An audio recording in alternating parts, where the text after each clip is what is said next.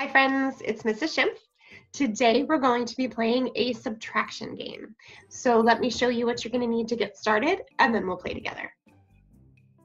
So here's what you'll need to play.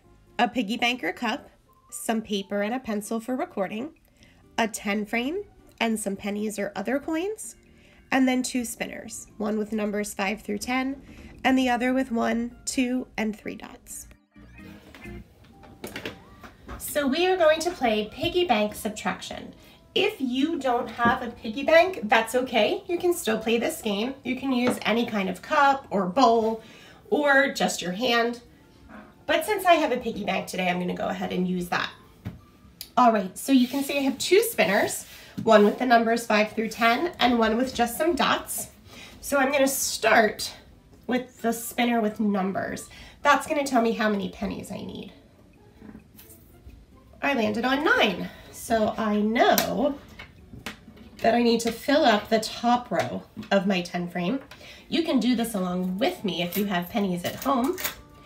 So that's five, six, seven, eight, nine. So I have nine pennies in my piggy, or not in my piggy bank yet. I have nine pennies. I'm just gonna change to a marker to make sure you can see. Now I need to find out how many of those I'm gonna put in my piggy bank. So I'm gonna use this spinner. It wants me to put two in my piggy bank. So I'm gonna take two off, put them in the bank.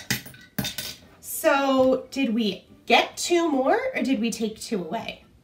Right, we took two away. So I'm gonna say minus two equals well, we had nine, we took two away. How many are left on my 10 frame? Five, six, seven. Good job. So let's read this equation together. Nine minus two equals seven. All right, let's try another one. I'm gonna spin my spinner after I clear my pennies off. All right, let's see how many this time. Seven. Oh, that's what we had before. So I know I need five, six, seven. Find out how many to put in our 10 piggy bank. Three. All right, so let me take off one, two, three, and put those in my piggy bank. So we took away three this time. And how many are left?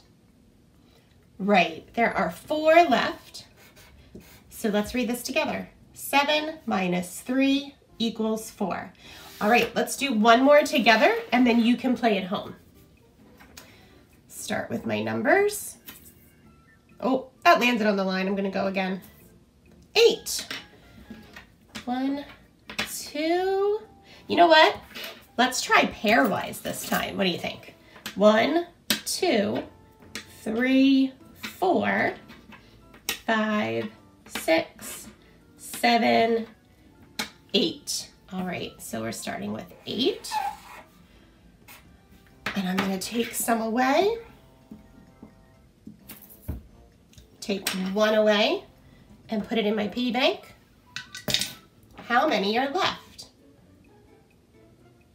I could count by twos, two, four, six, seven, or I can change it to five wise and see five, six, seven.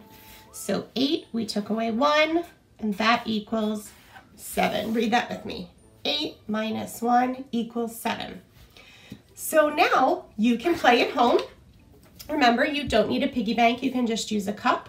Get your 10 frames and pennies, spinners, some paper and a pencil, and then send us a picture of your work. See you next time. Bye-bye.